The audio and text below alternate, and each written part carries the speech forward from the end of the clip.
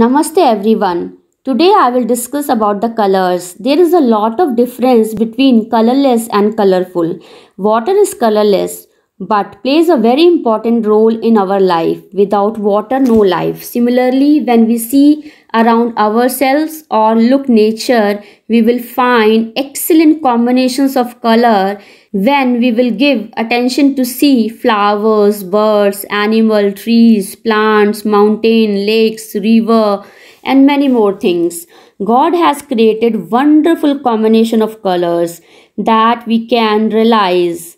Unfortunately, nowadays we don't have much time to see the beauty of nature. Kids are busy in going to school in morning and working husband and wife are busy in ready for office housewives are busy in making breakfast and lunch and thinking about what will be the evening fast and dinner old age persons are busy in maintaining their health or in gossip. Nowadays every class of people go for outing yearly or twice a year. In one week of schedule or sometime more they visit places in hurry and complete vacation with clicking photos or posting on media. I think we can enjoy beauty of nature in everyday life when we will start observing the things that nature itself full of surprises and beautiful colors. From morning to night sky changes color seasonally too.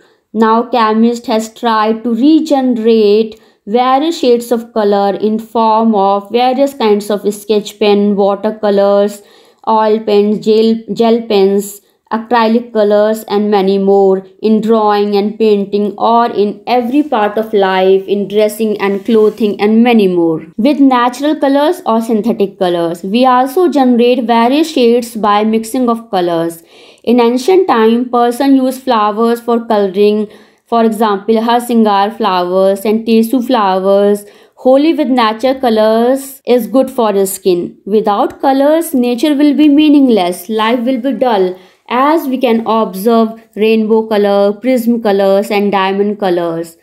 Colors choice varies person to person. Usually bright colors suits for kids and youngster and newly married couples. Gradually, gradually, as age increases, sober colors suits more than the bright colors.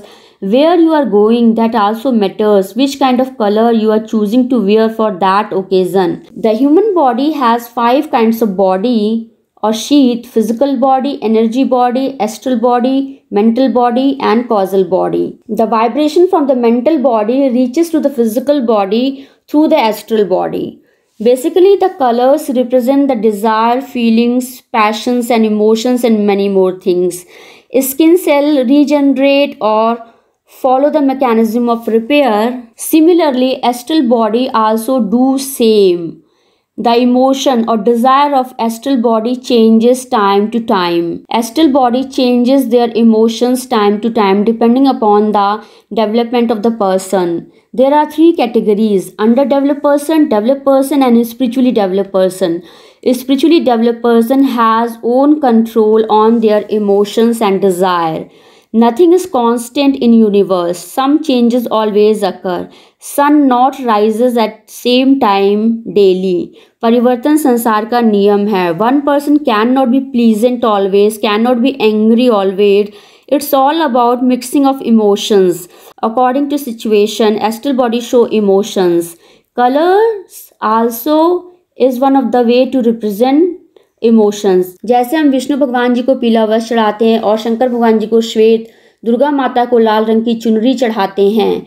White colour has also great importance so colours plays a very important role in life white is a mixture or combination of all colours a house looks beautiful with curtain and flowers of beautiful colours and design similarly many things make life beautiful with colors. Food has its own taste salty, sweet, sour, and many more. Water is odorless, tasteless, and colorless. By adding water and other ingredients, we make a tasty food. So we should practice of both. So enjoy colors in every aspect of life. First see what suits on you.